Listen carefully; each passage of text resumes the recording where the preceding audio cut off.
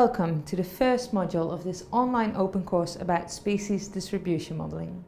In this module, we will give you an overview of what species distribution modeling is and the steps involved in calibrating and mapping these models. Let's start with first asking why it is important to understand where species occur. There are many different answers to this question. For a start, it is fundamental to our understanding of the biology and the natural history of a species. But there are also many different applications of species distribution models. So they can help to identify areas that should be prioritized for conservation, for example for endangered species that are vulnerable to extinction. And they can be of value in evaluating the potential of an invasive species to settle in particular areas. They can also help to determine potential routes of infections and diseases, which makes them important for public health and safety as well. And then another application is to combine them with future projections of changes of the natural environment. This means they can be used to predict how biodiversity will be affected by impacts such as climate change or changes in land use. So there are many important reasons for why we want to know where particular species can occur. But how do we predict species distributions? Developing a species distribution model begins with observations of species occurrences. These are places where we know a species has been found. These occurrences are mostly point-based and they come from sources such as museum records and observations of experts in the field. However, if you look up a distribution map of a species, it often shows a range rather than dots on the map. So how do we go from specific places where individuals of a species have been observed to producing a map that gives an estimate of the distribution of that species? And this is where species distribution models come into play. There are two approaches that you can take in estimating species distributions. You can either use a mechanistic model, which specifically incorporates known species tolerances to environmental conditions such as the maximum temperature in which a species can survive. This requires detailed data on the physiological response of a species to environmental factors, and this data is often not available. The second approach is the correlative approach, which is mostly used in species distribution models and is also the focus of this course. This approach is used when we don't have the detailed information about species tolerances to particular environmental variables.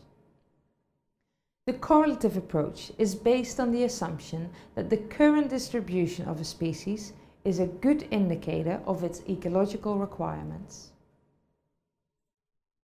To calibrate a correlative species distribution model, we need two types of input data, species occurrences and measurements of a suite of environmental variables, such as temperature and rainfall. These two types of data are then put into an algorithm to find associations between the known occurrences of a species and the environmental conditions at those sites. So we can identify the environmental conditions that are suitable for a species to survive. In other words, they describe relationships between species distributions and environmental variables. So we know something about where species occur and something about the environmental conditions of those places. The next thing we need to understand is how the algorithm uses this data. The algorithm uses these two types of information to estimate the probability of a species occurring in a place as some function of the environmental conditions of that place. Once we build the model, we can then project the predicted species distribution geographically on a map. For every point in the landscape, the model estimates the probability of a species occurring there. This can either be displayed as a binary outcome, that means as a presence-absence map, or as a probability on a scale from 0 to 1, with, for example, darker colored areas representing a higher likelihood that a species can occur in that place. It's important to note that these maps do not show actual occurrences of a species, but highlight areas that have similar environmental conditions to areas where we have already found the species. And thus it's an estimation of where a species can occur, This does not necessarily mean that the species actually exists in that area. So this was a short introduction in a species distribution modeling. In other modules of this course, we will have a look at each of the components of a species distribution model. Module 2 will explain the ecological theory behind these models. Then Module 3 will cover how to get and interpret the input data. Module 4 will give an overview of the different models that are available and how to choose which model best suits your data and the question that you're trying to answer. We explain the different algorithms that you can use to build species distribution models in more detail in three different modules. Presence-only models in Module 5, statistical regression models in Module 6, and machine learning models in Module 7.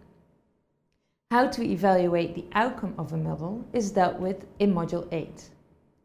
And then we will focus on one implementation in particular in Module 9, the effects of climate change on species distributions. And in the last module of this course, we will introduce the BCCVL, the Biodiversity and Climate Change Virtual Laboratory. This is a tool that lets you run species distribution models, including climate change projections, in a few easy steps. In that last module, we will illustrate how to use the BCCVL with a few case studies. Thank you for watching Module 1. I hope to see you soon in Module 2.